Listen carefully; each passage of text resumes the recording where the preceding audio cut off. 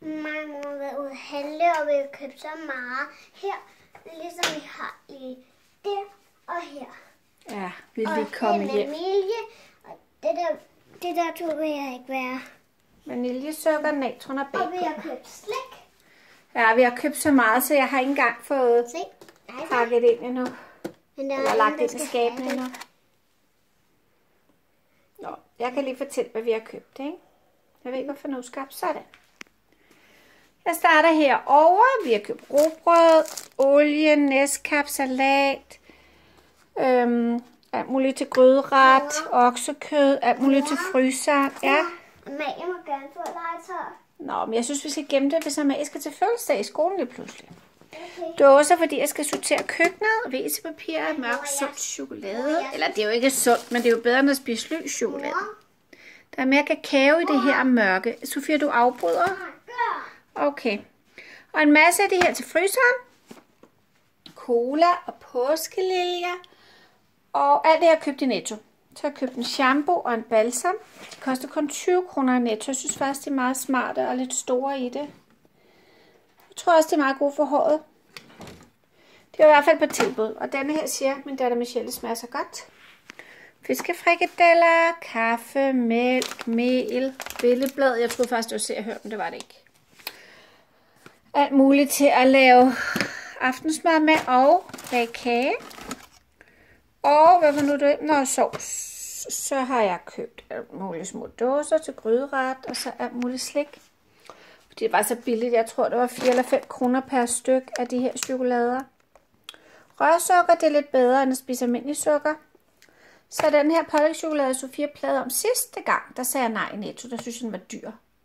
Kostede den 20 kroner, tror jeg det var. Og nu koster den kun 10 kroner. Så nu fik hun lov at få den.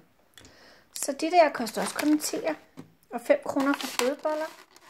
Og det der legetøj var sat ned, men desværre var der kun en af dem. Men så tænker jeg, at jeg kan gemme dem, hvis jeg til fødselsdag lige pludselig. Så. Og ja, så købte jeg også, at vi kunne bage pizzasnegle eller pølsehorn. Og sådan noget her. Madpandekage. Og de her har jeg lige købt sidste gang. De her lækre knækbrød. Der koster de 25 netto. Nu koster de kun 10 kroner. Der har jeg altså købt to pakker. Økologiske bananer og økologiske æbler. Det kan jeg bedst lide. Det smager bedst, når det er økologisk faktisk frugten. Gurk. Øhm, ja, og så købte jeg også sådan en til at vaske gulv til 20 kroner. Oh, oh, oh, oh. Så øhm, der er vist rimelig mange ting, jeg fik købt i dag, da jeg var i Netto. Jeg, det lød som om, jeg havde Sofia med i Netto i dag, men det havde jeg faktisk ikke. Hun sagde, mor og mig ud at handle, men hun var faktisk hjemme hos Thomas og spille på iPad, imens jeg har været afsted. Så det har været lidt nemmere at handle stort ind, når Sofia ikke var med. Det er altid lidt sværere, når man har små børn med. Så. Men sikke, sikke, sikke mange ting. Nu skal jeg bare have alle de her ting på plads. Sofia? Sofia, skal vi være gode venner? Jeg skal lige finde Sofia. Sofia? Jeg prøver lige at spørge hende, om ikke vi skal være gode venner, hvis hun får sit æg nu. Sofia? du var ikke for at være sur, men det var fordi, du afbrød mig, da jeg var ved at fortælle noget. Nej, okay. Men Sofia, skal vi være gode venner? Mm, Kan du så undskyld? Undskyld, skat. Skal vi ikke være gode venner, så skal du også sige undskyld, fordi du afbrød. Undskyld. Ja, så kys mig. Så er vi gode venner. Så går vi ud og finder et lille æg til dig. Jeg vil så ikke kysse.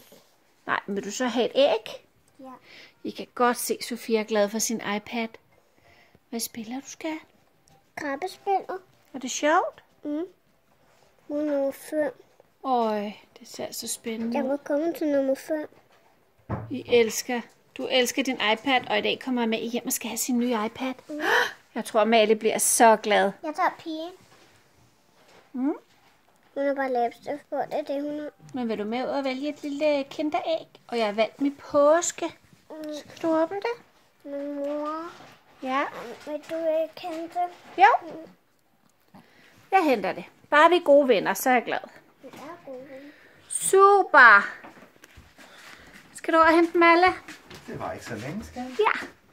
Jeg lovet Sofia, og jeg skal ordne alt det her ude i køkkenet, hvor jeg har købt simpelthen så mange ting, så jeg er nødt til at sortere køkkenskabene, tror jeg, for at få plads til det. Men, godt tage sin tid. ja, men det er også rart at få styr på det hele. Så får Sofia lige sådan en æg nu. Hun synes, det er så hyggeligt, når hun får de æg. For der er legetøj i. Værsgo, Sofia, vil du så sidde her? Men jeg lader lige gå fra. Så kan jeg optage, så de søde fans lige kan se, Ja, er hvad du får. Og husk at sige tak, ikke? Tak. Se, hun er en påskepige. Jeg håber bare ikke, det er den, du har. Det var jeg heller ikke. Og husk at se det i kameraet, når du snakker, ikke?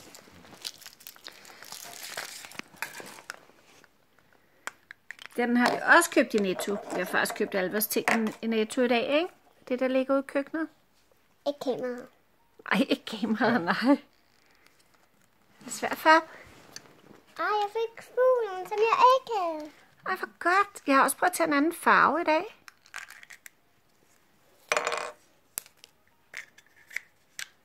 Hvordan samler du den? Det ved jeg godt. Se, men der er ikke noget i. Man skal bare lege med den. Der er ikke en pensel i. Nej, og heller ikke farver. Okay. Man skal bare putte fødderne her i. Så skal man mase. Du er altså blevet ret god til at samle det legetøj, der er i, Sofia. Der er jo ikke nogen, der skal have fars hjælp mere. Nej, dine børn er blevet store. Se, Vores børn. Vores børn er bedst. Og vi skal også lige have ret Sofias hår, for det ser sådan lidt... Ja. så står der billeder med til den. Nå, Så, så man kan putte ind i den. okay. Og billederne er her. Men øh, Når det er klistermærker. nej, Man skal putte det ind i. Ej, man kan putte... det er påsketema. Nå, prøv at se, man kan gøre... Skal man bare rulle den sammen? Ja. Så man gør sådan her. Se, Sofia. Så kan du putte klistermærkerne ind i kyllingen. ja. Og så, så, så vil ingen andre, jeg har den klistermærke. Nej, så Ej, det det er så- så er det Upsi. gemt. Det var smart. Se, Det er meget sødt, de der påskekind af. Mm, Man kan bare se ind i hullet, hvis man ikke ved det. Mm-hmm. Må jeg se den? Og så prøv at åbne den, så kan jeg se klistermærkerne. Nej, du må ikke se. Jo, jo, det er fans, der vil lige se, det ligger derinde. Ja. Se, så ligger klistermærkerne derinde. Og så kan vi vise Malle det. Ja. Og vi skal vist ikke ind og kigge på Malles iPad, før Malle kommer hjem. Nej, det... For Amalie har tegnet en tegning og lagt på Sofias værelse med en hånd, og så er der et kryds over hånden, og det betyder, at vi må ikke gå ind og tage hans iPad. Nye iPad, eller det er den gamle, som er blevet lavet. Og Thomas har været i Roskilde i dag og hentet Amalies iPad, fordi Sofias blev lavet går. Men Amalies nåede først at blive færdig til i dag, og det har været et stort ønske for begge piger længe. Så det er godt, det er blevet gjort. Hvad for en jeg har? Nej. Jeg har to af den der, og så har man den der bare en anden farve hernede. Og så har jeg havde den, men så var den med byt. Og så, har, så fik jeg den i dag. Nå, så I mangler kun den grønne og den røde. Nej, se, den grønne har, den grønne havde Amalie. Ja. Men så, givet, men så vil hun bytte. Nå, Så jeg er den eneste, der mangler den, den og så den. Det, okay. det er den, jeg mangler. Skal du ikke spise det her kinderæg? Jeg synes Nej. simpelthen, det der chokolade er så bedste lækkert. chokolade. Forbudt. Har du lagt din kylling ind i chokolade? Må jeg Det se? siger jeg ikke. Må overvise de søde fans. Det. Bare lige vise de er søde fans, om det er tit... Nå, så ligger kyllingen og sover derinde. Nej, den skal, lige, den skal blive født. Og det er det, jeg siger. Men ej, det er jo svært ikke at spise det der mælkechokolade. Det er Det lige- smager altså som mums. Fordi hvis I prøver at tage det, så slår jeg. Ej, man må ikke slå, Sofie. Det ved du da godt, skat. Man må ikke slå, vel? Men hvis jeg gør. Ja, det gør vi heller ikke. Du skal ikke med far op og hente Malle? Nej, jeg vil blive her. Jeg vil ikke have koldt. Ja, så går vi. Vil du ikke? Skal du ikke ud af frisk luft? Hun vil heller ikke med mig at handle netto. Det er det er koldt. Jeg tror ikke, hun kan lide at komme ud i kulden. Jeg tror også, det er, fordi hun vil ligge her på sofaen og spille iPad. Ja, Man kan jo ikke ligge på sofaen hele dagen og spille, vel? jo man kan. Man skal også lege lidt. Man kan også om aftenen. Nå, P- eller Sofia. Kan du sige hej hej? Hej hej.